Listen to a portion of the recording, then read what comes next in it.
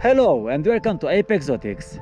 This morning I ventured around Dingli Cliffs and as I was herping, to my surprise I was lucky to find a scorpion known as Euscorpius sicanus.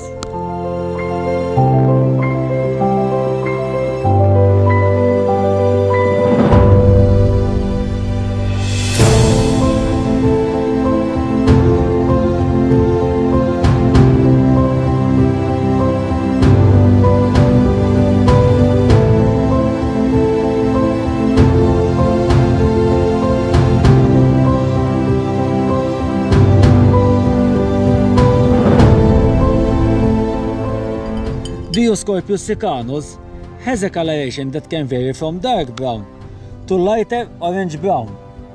Its body part consists of two claws, segmented carapace, eight legs, and a stinger on the back. The adult size range from 30 to 40 millimeters and have a lifespan of 2 to 3 years. The species can be found under stones, logs, and under barks in forests, sometimes even in basements. These species are commonly found in Sardinia, Sicily, Greece, Malta, Madeira and in northern Africa. The mating period is between spring and summer. If a male encounters a female who is set ready to mate, the male will remain in the same area protecting the female from other males. When the female is ready, the male and the female grasp each other pedipalps and circle each other. The venom of the Euscorpius species is generally very weak, with effects similar to mosquito bites. Some smaller specimens may not even be able to puncture human skin with their stings. The Euscorpius sicanus is native in the Maltese Islands. It feeds on small arthropods in leaf litter during the hours of darkness.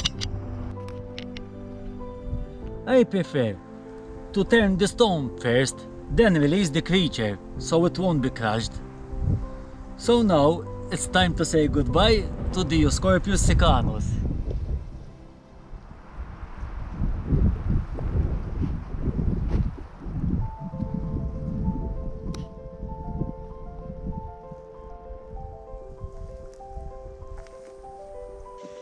I hope you found this video interesting and informative. I can't believe that on such a small island, a wide variety of species can be found if one looks properly around. Thanks for watching Abe Exotics. Hope you like this video. Please don't forget to subscribe and see you next time.